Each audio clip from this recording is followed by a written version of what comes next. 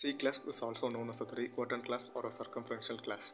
The parts are circumferential retentive tip, interocclusal arm, retentive arm. The advantages are simple to construct, prevent the mesial migration of tooth, easy to fabrication.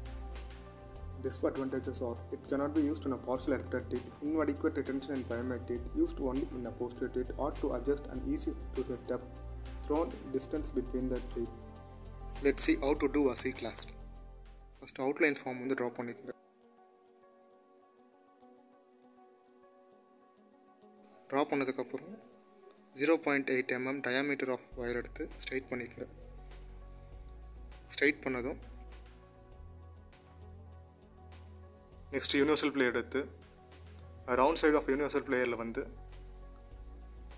Curve bend தரும். Bend வந்து ஸ்லோவாக கர்வாக தாங்க like a C shape தந்ததும் காஸ்ட்டில் வச்சு பாருங்கள் next வந்து வெர்டிக்கல் பெண்ட் தரும். 90 டிகிரி பெண்ட் இந்த பெண்ட் வந்து அப்போ interproximal embrasure of the tooth வந்து அடாப்ட் ஆகும். அடாப்ட் ஃப்ளை எடுத்து நைன்டி டிகிரி வெர்டிக்கல் பெண்ட் தரும்.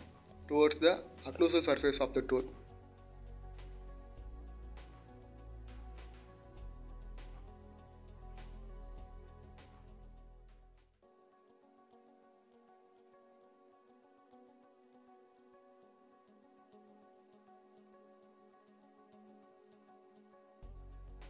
next காஸ்ட்டில் வச்சு அக்ளோசல் பாயிண்டில் வந்து மார்க் பண்ணிவிட்டு நெக்ஸ்ட்டு அக்ளோசல் பெண்ட் தாங்க.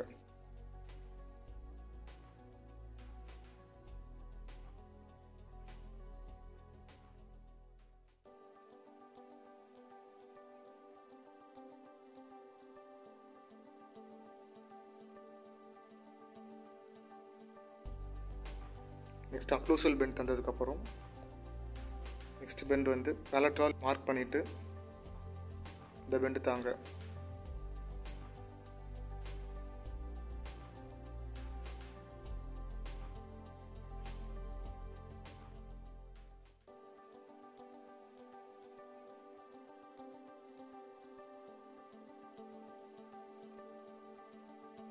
எக்ஸஸ் ஆஃப் ஒயரை வந்து மார்க் பண்ணி அதை கட் பண்ணி எடுத்துக்கோங்க.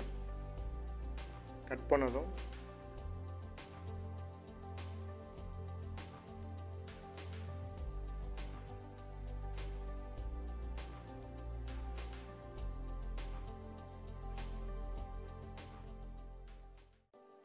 நெக்ஸ்ட் யூனிவர்சல் பிளேயர் எடுத்து ஸ்மால் பென் அது வந்து ரிட்டர்ன் டு ஆம்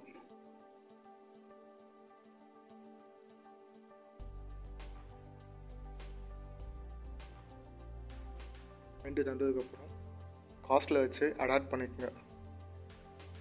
சி கிளாஸ்